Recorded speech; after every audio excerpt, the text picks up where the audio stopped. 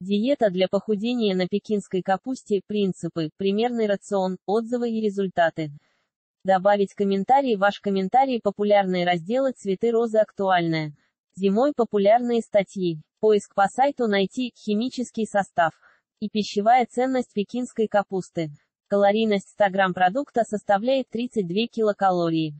Пищевая ценность аналогичного количества пекинской капусты – 1,2 грамма белков, 0,2 грамма жиров, 2,2 грамма углеводов.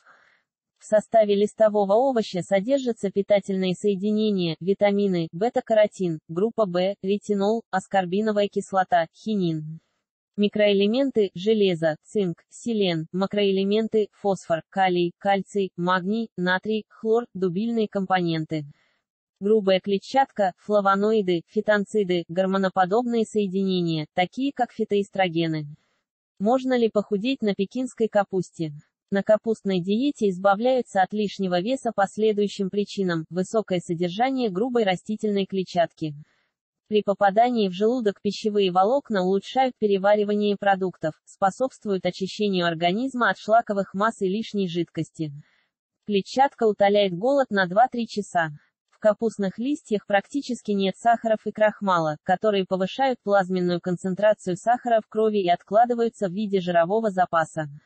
Основная масса углеводных соединений представлена грубой и растворимой клетчаткой.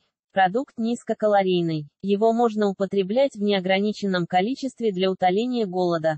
Витаминно-минеральный комплекс в составе пекинской капусты поддерживает высокую скорость метаболизма, улучшает работу органов и систем. Сочетание клетчатки и тартроновой кислоты. Последнее препятствует превращению углеводов в жировую массу. Органическая кислота потребляется исключительно из сырых капустных листьев. Под действием термической обработки она легко разрушается. Грубая клетчатка создает барьер в кишечнике, препятствуя полному всасыванию жиров и углеводов в тонкой кишке. Растительная пища наиболее эффективна для переваривания во второй половине дня, когда скорость метаболических процессов падает. Благодаря биоактивным веществам в составе капуста разгоняет обмен веществ, в результате чего организм превращает жировые запасы в энергию даже вечером. Польза для похудения капустные листья полезны в период соблюдения низкокалорийной диеты благодаря следующим свойствам. Лизин способствует очищению крови от токсичных соединений, улучшает активность иммунокомпетентных клеток и разрушает инородные белковые вещества в плазме. Лактуцин нормализует давление и сон, улучшает внутриклеточный метаболизм, оказывает общеукрепляющие действия, витамины группы. В нормализуют психоэмоциональное состояние, снижают риск срыва с диеты, избавляют от головных болей, аскорбиновая кислота укрепляет стенки сосудов, улучшает работу иммунитета, препятствуя заражению истощенного диетой организма инфекционными заболеваниями, клетчатка. Улучшает процесс переваривания и усвоения пищи, антиоксиданты укрепляют волосяную и ногтевую структуру, восстанавливают эластичность кожи, препятствует шелушению, пекинская капуста снижает уровень вредного холестерина и триглицеридов в сыворотке крови, которые ухудшают состояние стенок сосудов и способствуют развитию ожирения, предотвращает авитаминоз. Пример диеты на пекинской капусте. В качестве альтернативного варианта низкокалорийной диете на пекинской капусте проводят разгрузочные дни. В этом овоще нет такого большого количества грубой клетчатки, как в белокочанной капусте, поэтому его можно употреблять в течение дня без риска развития запоров. Правила диеты для получения максимальной пользы от низкокалорийной диеты придерживаются следующих правил для насыщения организма витаминами, минералами и тартроновой кислотой пекинскую капусту употребляют в сыром виде. Вводят дробный рацион, принимают пищу 5-6 раз в сутки небольшими порциями по 300-350 грамм.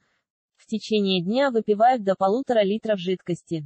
Полностью исключают газированные, спиртные и сладкие напитки. Разрешается употреблять овощные, фруктовые, ягодные свежевыжатые соки, кофе, чай без молока и сахара, воду. Соль, сахар и другие пищевые добавки исключают в процессе приготовления блюд. Допускается замена соли небольшим количеством соевого соуса, до 15-20 мл в сутки не более двух раз в неделю. После каждого приема пищи должен чувствоваться легкий голод. Переедание замедляет метаболизм, из-за чего организм прекращает расщеплять жировые запасы для получения энергии, снижается физическая активность. Для поддержания тонуса скелетной мускулатуры два раза в день занимаются спортом. В тренировку включают только легкие и умеренные упражнения. Силовые и кардионагрузки запрещены. Помимо соблюдения правил диеты необходимо сбалансировать суточный рацион. Продукты делят на запрещенные и допустимые. Разрешенная пища – огурцы, сельдерей, шпинат, зеленая фасоль, помидоры, болгарский перец, кабачки, редис, свекла. Злаковые культуры, за исключением белого риса, цельнозерновый хлеб, различные виды капусты, помимо пекинской, яблоки. Груши, цитрусовые, гранаты и другие фрукты, ягоды, любая зелень, морепродукты, постное мясо, нежирное филе рыбы. Рыбий жир, поливитаминные комплексы, твердые сорта сыра, яйца в отварном виде, кисломолочные и молочные продукты. С низким процентом жирности, масло оливы, льна, кунжутных семян. Запрещенные продукты при похудении, масло подсолнуха, сливочное, белый хлеб, мучные и кондитерские изделия, жирные. Соусы, белый рис, крахмалистые овощи, бананы, хурма, виноград, растворимый кофе, субпродукты, колбаса, сосиски жирный сыр, сметана, молоко, сливки, крем. Рацион при соблюдении низкокалорийной диеты рацион составляют по следующим принципам, на завтрак употребляют сложные. Углеводы, бутерброды с ржаным хлебом, злаковые каши, мед, фрукты, орехи и ягоды, молочные продукты, в обеденный перерыв организм должен получать белок из яиц, нежирного мяса, грибов и рыбного филе, а также грубую клетчатку из овощей, на ужин едят блюда с пекинской капустой. Примерное меню на неделю представлено в таблице. День завтрак, обед, ужин, одна овсянка на молоке без сахара, зеленый чай с одного часа. Лист цветочного меда, куриные отбивные с соевым соусом, нежирной сметаной и горчицей, из них готовят маринад для мяса. Филе выпекают в духовке, жарить запрещено. Салат из пекинской капусты с лимонным соком и маслом оливы, 2 гречневая каша на воде с фруктами или овощами, паровые котлеты. Из говяжьего фарша на подушке, из овощей листья капусты, нарезанные, смешанные с зеленым горошком, заправленные оливковым маслом. Три фруктовый салат из кисло-сладких яблок, апельсинов, груш с добавлением меда и обезжиренной творожной массы отваренная. На пару рыба, на гарнир, брокколи салат из пекинской капусты с добавлением сыра твердых сортов 4 гречневая каша на воде без пищевых добавок, сваренное вкрутую яйцо, зеленый чай с цветочным медом, запеченная с травами куриная грудка салат. Из капусты с дайконом и тертой морковью 5 овсянка на молоке с одной ст. Лист молотых грецких орехов, 1 час л. Медоовощной суп на мясном бульоне или легкий куриный суп с лапшой салат из пекинской и белокочанной капусты с натуральным йогуртом, соком лимона 6 бутерброд из цельнозернового хлеба и сыра, яблоко кисло-сладких сортов, приготовленное на пару. Рыба, тушеные овощи с цитрусовым соком, капустный салат с вареным яйцом, 7 кукурузная каша на молоке с вареными желтками. 0,5 авокадо и зеленый чай, вареная телятина с гарниром из стручковой фасоли, капустный салат с сельдереем, отзывы и результаты. Отзывы тех, кто опробовал диету на китайской капусте, однозначно говорят о том, что выдержать ее нелегко, но ожидаемый результат придет. Елена Кипрова, 32 года, рацион диеты на пекинской капусте голодный. Постоянно хочется есть, ощущается недоедание. Но я почувствовала легкость в теле, улучшилось самочувствие. Усталости не было, все время находилась в позитивном настроении. За 10 дней плюс 5 дней выхода с диеты удалось сбросить 4,5 килограмма.